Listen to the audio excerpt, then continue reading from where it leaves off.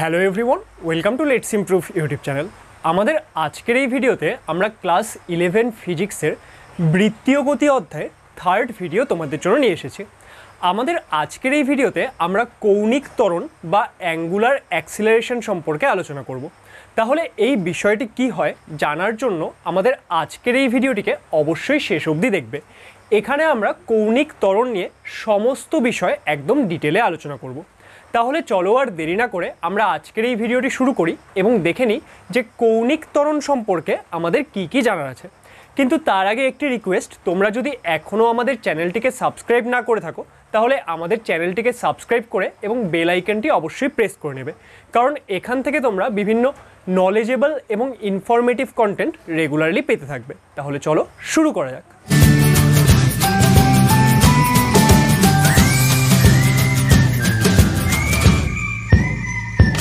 আমাদের আজকের এই ভিডিওতে আমরা তাহলে পড়ব হলো কৌণিক ত্বরণ বা অ্যাঙ্গুলার অ্যাক্সিলারেশন নিয়ে।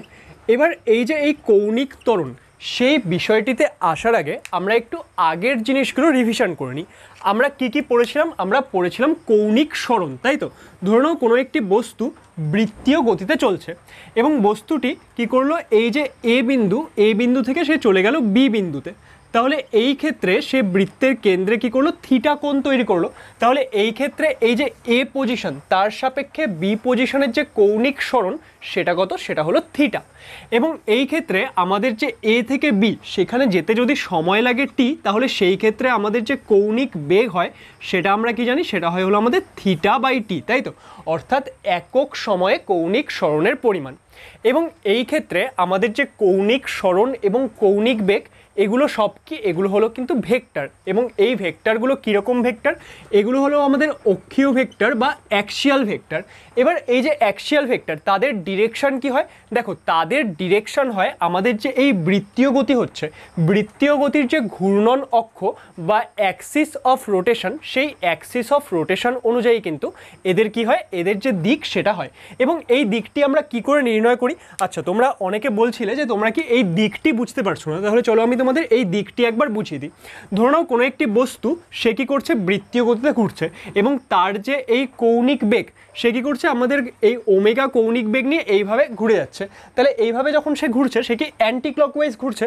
এবার অ্যান্টি ক্লকওয়াইজ যখন ঘুরবে, আমাদের যে কি আছে? আমাদের যে এর ঘূর্ণন অক্ষ সেটা কি? সেটা তো আমাদের এই বৃত্তের কেন্দ্র দিয়ে থাকবে। এবং দেখো, এই বৃত্তটি কোথায় আছে? এই বৃত্তটি আছে বোর্ডের প্লেনে। তাহলে আমাদের যে ঘূর্ণন অক্ষ সেটা কি হয়? বোর্ডের প্লেনের সাথে এইভাবে লম্ব হবে, তাই তো? আমি পেনটাকে যেভাবে ধরেছি, আমাদের যে ঘূর্ণন অক্ষ সেইভাবে থাকবে। মানে কি, আমাদের সাপোজ ধরো যে কোনো একটি বস্তু আছে, এই বস্তুটি ধরো আমার এই যে হাতে আমি একটি বৃত্ত তৈরি করেছি, এই বৃত্ত বরাবর এর বৃত্তীয় গতি হচ্ছে।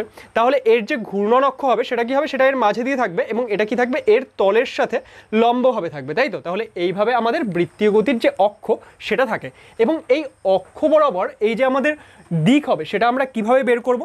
দেখো, আমাদের যেই দিকে আমাদের বস্তুটির বৃত্তীয় গতি হচ্ছে, সেই দিকে আমরা হাতের আঙুলগুলোকে রোল করব।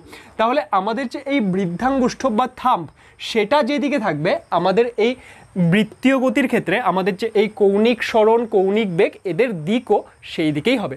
দেখো, এই ক্ষেত্রে আমরা যখন হাতকে ঘোরাচ্ছি, আমাদের থাম্ব কি বাইরের দিকে থাকছে? তাহলে এই ক্ষেত্রে ঘূর্ণন অক্ষ বরাবর এই যে কৌণিক বেগ, তার দিক কী হবে? তার দিক হবে বাইরের দিকে। যদি আমাদের বস্তুটি এইভাবে ঘুরতো, তাহলে সেই ক্ষেত্রে কি হতো? সেই ক্ষেত্রে দেখো, আমরা হাতটিকে এইভাবে ঘোরাতাম, কারণ আমরা, আমাদের কি করতে হয়? আমাদের যে আঙুলগুলো, সেটাকে আমাদের এই যে বৃত্তীয় গতি তার দিকে ঘোরাতে হবে। তার ফলে আমাদের যে থাম্প সেটা কোন দিকে যাচ্ছিল? সেটা ভেতরের দিকে যেত। তাহলে সেই ক্ষেত্রে আমাদের যে কৌণিক বেগ তার দিক কোন দিকে হতো? সেটা হতো আমাদের এই ঘূর্ণন অক্ষ বরাবর ভেতরের দিকে।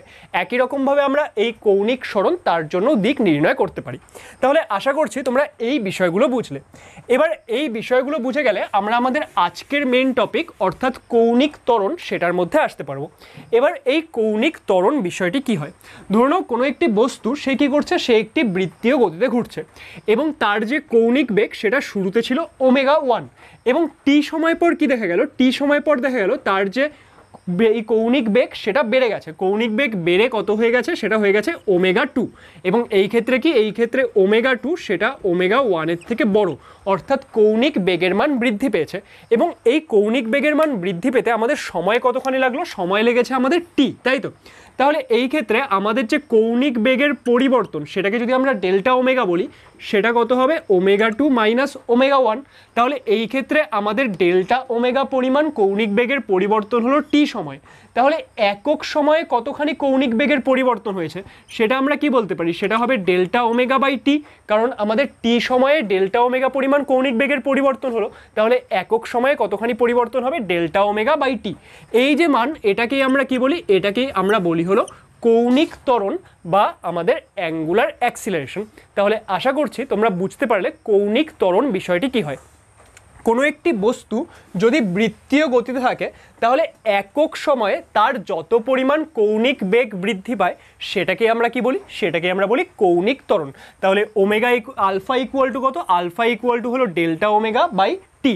এটাকে আমরা কি লিখতে পারি? Alpha equal to omega two minus omega one by T. যেখানে আমাদের ওমেগা টু কি? ওমেগা টু কিন্তু ওমেগা ওয়ানের থেকে বড়। তাহলে আশা করছি এই বিষয়টি বুঝলে। এবার এই যে আলফা অর্থাৎ কৌণিক ত্বরণ, সেটা কি স্কেলার রাশি নাকি ভেক্টর রাশি? কৌণিক ত্বরণ কিন্তু একটি ভেক্টর রাশি এবং কৌণিক সরণ ও কৌণিক বেগের মতো এটাও একটি অক্ষীয় ভেক্টর বা অ্যাক্সিয়াল ভেক্টর। তাহলে এরও দিক কিন্তু আমরা অক্ষীয় ভেক্টরের দিক যেভাবে নির্ণয় করতে হয়, সেইভাবেই নির্ণয় করব। তাহলে এবার এই যে আলফা বা কৌণিক ত্বরণ, তার যে মাত্রা, তার মাত্রা কত হবে? দেখো, আমরা যদি কৌণিক ত্বরণের মাত্রা বের করতে চাই, সেটা কি হয়ে যাবে? সেটা হয়ে যাবে আমাদের ওমেগার মাত্রা, অর্থাৎ কৌণিক বেগের মাত্রা বাই সময়ের মাত্রা, তাই তো? এবার কৌণিক বেগের মাত্রা কি হয়? আমরা জানি কৌণিক বেগের মাত্রা হয় T to the power minus one, আর সময়ের মাত্রা সেটা হলো টি, তাহলে এটা ইকুয়াল টু কত আসবে? T to the power minus two, তাহলে আলফার যে মাত্রা কৌণিক ত্বরণের মাত্রা হলো T to the power minus two এবং এই যে আলফা, তার একক কি হবে? দেখো, আলফা মানে হলো কৌণিক বেগ বাই সময়। তাহলে কৌণিক বেগের একক বাই সময়ের একক, সেটাই কি হয়ে যাবে? সেটাই হয়ে যাবে কৌণিক ত্বরণের একক। এবার কৌণিক বেগের একক কি? কৌণিক বেগের একক হলো রেডিয়ান পার সেকেন্ড এবং সময়ের একক সেটা হলো সেকেন্ড তাহলে এই ক্ষেত্রে আলফার যে ইউনিট হবে, তাহলে ইউনিট অফ আলফা সেটা কি হবে? সেটা হবে রেডিয়ান পার সেকেন্ড স্কোয়ার তাহলে এটা আসছে আমাদের কৌণিক ত্বরণের একক। এবার এই যে কৌণিক ত্বরণ সেটা তো আমরা বুঝে গেলাম। এই ক্ষেত্রে আমাদের কি হচ্ছে? বস্তুটির যে বেগ সেটা বৃদ্ধি পাচ্ছিল। এবার ধরো কোনো ক্ষেত্রে বস্তুটির যে বেগ সেটা হ্রাস পাচ্ছে। অর্থাৎ বস্তুটির কৌণিক বেগ সেটা কমে গেল। অর্থাৎ আমরা বলতে পারি আমাদের যে ওমেগা টু সেটা কি? সেটা হলো ওমেগা ওয়ানের থেকে ছোট। এবার ওমেগা টু যদি ওমেগা ওয়ানের থেকে ছোট হয়, সেই ক্ষেত্রে তাহলে কি হচ্ছে? আমাদের কৌণিক বেগের মান হ্রাস পাচ্ছে। তাহলে এই ক্ষেত্রে বিষয়টি যেটা হচ্ছে, সেই ক্ষেত্রে একক সময়ে আমাদের যতখানি বেগের পরিবর্তন হবে, সেটাকে আমরা কি বলব? সেটাকে আমরা বলব মন্দন, তাই তো? কারণ যখন বেগ বৃদ্ধি পায়, সেটাকে আমরা বলি অ্যাক্সিলারেশন বা ত্বরণ, এবং যখন বেগ হ্রাস পায়, সেটাকে আমরা বলি ডিঅ্যাক্সিলারেশন বা রিটার্ডেশন বা মন্দন। তাহলে এই ক্ষেত্রে বেগের মান যদি হ্রাস পায়, সেটা কি হবে? সেটা হয়ে যাবে কৌণিক মন্দন। তাহলে কৌণিক মন্দনকে যদি আমরা আলফা দিয়েই ডিনোট করি, সেটা আমাদের কি আসবে? সেটা আসবে আমাদের omega one minus omega two by T. তার কারণ কি? এই ক্ষেত্রে ওমেগা ওয়ান বড়। আচ্ছা দেখো, এটাকে আমরা কি লিখতে পারি? আচ্ছা এটাকে আমরা ধরো ওমে আলফা ড্যাশ বলছি যে এটা কি? এটা হচ্ছে আমাদের কৌণিক মন্দন। এটাকে আমরা এবার কি লিখতে পারব? Minus omega two minus omega one by T.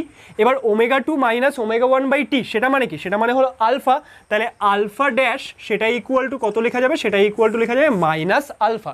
তার মানে আমরা কি বলতে পারি? আমাদের যে কৌণিক মন্দন, সেটা কি হবে? সেটা কৌণিক ত্বরণের ঋণাত্মক হবে। এবার এই ক্ষেত্রে একটি বিষয় বোঝো। তাহলে যখন কৌণিক ত্বরণ হচ্ছে সেটা তো ধনাত্মক হচ্ছে, এবং যখন কৌণিক মন্দন হচ্ছে, সেটাকে আমরা কি বলছি? সেটাকে আমরা বলছি ঋণাত্মক কৌণিক ত্বরণ, তাই তো? এবার আমাদের যে কৌণিক ত্বরণ, সেটা তো একটি ভেক্টর রাশি। তার দিক কোন দিকে হয়? তার দিক হয় যেদিকে আমাদের কৌণিক বেগের দিক। এবার এটা কখন হবে? যদি ত্বরণ হয়, তাহলে কৌণিক বেগ এবং কৌণিক ত্বরণ উভয়ের দিক আমাদের ঘূর্ণনক্ষ বরাবর একই দিকে হবে। কিন্তু যদি কৌণিক মন্দন হয়, সেই ক্ষেত্রে আমাদের যে কৌণিক ত্বরণের দিক, সেটা কৌণিক বেগের দিকের ঠিক উল্টো দিকে হবে। তাহলে আশা করছি এই কৌণিক বেগের সাথে আমাদের যে কৌণিক ত্বরণ বা কৌণিক মন্দনের দিকের সম্পর্কটি, সেটা তোমরা বুঝতে পারলে। এবার এই বিষয়টি বুঝে গেলে আমরা শিখব যে আমাদের কৌণিক ত্বরণের সাথে আমাদের রৈখিক ত্বরণের কি সম্পর্ক। তাহলে চলো আমরা সেই বিষয়টিতে চলে আসি। তাহলে এবার আমরা কি শিখব? এবার আমরা শিখব রৈখিক ত্বরণ এবং কৌণিক ত্বরণের মধ্যে সম্পর্ক। এবার এই যে রৈখিক ত্বরণ, সেটা কি? আমরা জানি যে কোনো একটি বস্তু যদি একমাত্রিক গতিতে চলে, তার একক সময়ে যতখানি বেগের পরিবর্তন হয়, সেটাকে আমরা বলি রৈখিক ত্বরণ, তাই তো? তাহলে এ ইকুয়াল টু কত হয়? এ ইকুয়াল টু হয় ভি বাই টি এবং আমাদের কোনো একটি বস্তু, সে যখন বৃত্তীয় গতিতে ঘুরছে, দেখো, একটি বস্তু যদি বৃত্তীয় গতিতে চলে, তাহলে তার ধরনেও কি হচ্ছে যে আমাদের কোনো একটি বস্তু বৃত্তীয় গতিতে চলার সময় এ থেকে এ বিন্দু থেকে বি বিন্দুতে গেল। এই ক্ষেত্রে তার কৌণিক সরণ হচ্ছে থিটা এবং এই ক্ষেত্রে এ থেকে বিতে যাওয়ার সময় তার যে কৌণিক সরণ সেটা একটি নির্দিষ্ট বেগের জন্য হয়েছে। ধরে নাও তার বেগ হয়েছিল ওমেগা এবং আমরা বলছি এই ক্ষেত্রে বেগের মান বৃদ্ধিও পেয়েছিল যে ওমেগা ওয়ান এখানে ধরে নাও বেগ ছিল এবং এখানে গিয়ে সেটা বেড়ে হয়ে গেছে ওমেগা টু। তাহলে এই ক্ষেত্রে কি হবে? এই ক্ষেত্রে এর কৌণিক ত্বরণ হয়েছে। এবার দেখো বস্তুটি এখান থেকে এখানে যে গেল, এই যে দূরত্ব, এটা কি? এ তো একটি সরলরেখা বরাবর গেছে। তাহলে এটাকে আমরা কি বলি? রৈখিক সরণ এবং এর জন্য যে আমাদের বেগ ছিল, সেটা কি হয়? সেটা হয় রৈখিক বেগ এবং একই রকমভাবে এখানে আমরা কি পেয়ে যাব? এখানে আমরা পেয়ে যাব রৈখিক ত্বরণ, তাই তো? তাহলে এই যে রৈখিক ত্বরণ এবং আমরা যে কৌণিক ত্বরণ শিখলাম, আলফা, সেটা equal to omega by T এদের মধ্যে কি সম্পর্ক? দেখো, এদের মধ্যে সম্পর্ক বের করার জন্য আমরা এক কাজ করি। আমরা যে রৈখিক বেগ এবং কৌণিক বেগের সম্পর্কটি পেয়েছিলাম, সেটা একবার লিখে নিচ্ছি। সেটা কি ছিল? আমরা পেয়েছিলাম V equal to R omega তাই তো? তার কারণ কি? আমাদের যে এস সেটা ইকুয়াল টু ছিল আর থিটা উভয় পক্ষকে যদি আমরা টি দিয়ে ভাগ করি, তাহলে S by T equal to R into theta by T তাহলে V equal to R omega তাই তো? এটা আমরা পেয়েছিলাম কার কার মধ্যে সম্পর্ক? এটা আমরা পেয়েছিলাম রৈখিক বেগ এবং কৌণিক বেগের মধ্যে সম্পর্ক। এবার এই যে ইকুয়েশন এটাকে ধরো আমরা উভয় পক্ষে টি দিয়ে ডিভাইড করে দিচ্ছি। তাহলে এই ক্ষেত্রে আমরা কি পাবো? ভি বাই টি সেটা মানে কি? সেটা মানে হলো আমাদের এ অর্থাৎ আমাদের এটা কি? এটা হচ্ছে রৈখিক ত্বরণ। সেটা ইকুয়াল টু কত হবে? R into omega T omega by T মানে কি? সেটা হলো আলফা তাহলে এই ইকুয়াল টু কত আসছে? আর ইন্টু আলফা তাহলে এই যে বিষয়টি আমরা পেলাম, এটা কি? এটাই হচ্ছে আমাদের রৈখিক ত্বরণ এবং কৌণিক ত্বরণের মধ্যে সম্পর্ক। তাহলে আশা করছি তোমরা এই পুরো বিষয়টি বুঝতে পারলে। আমাদের আজকের এই ভিডিওতে আমরা তাহলে কৌণিক ত্বরণ সংক্রান্ত সমস্ত বিষয় একদম ডিটেলে আলোচনা করলাম। এখানে তোমাদের কোনো রকমের ডাউট থাকলে সেটা তোমরা ভিডিওর কমেন্ট সেকশনে জিজ্ঞেস করতে পারো। ভিডিওটি ভালো লাগলে সেটাকে অবশ্যই লাইক করবে এবং আমাদের পরবর্তী ভিডিওগুলো দেখার জন্য আমাদের চ্যানেল লেটস ইমপ্রুভকে অবশ্যই সাবস্ক্রাইব করবে। Thank you for watching